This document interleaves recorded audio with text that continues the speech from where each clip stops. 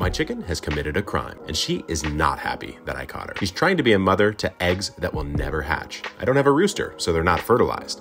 This is Butter. She's my normally friendly Buff Orpington, but she's gone broody, so she's trying to hatch eggs and getting so aggressive that she even broke one. So I visited my favorite chicken jailer Jacques to borrow his prison cell. I needed to build Butter the perfect jail cell so she could really sit there and think about what she'd done.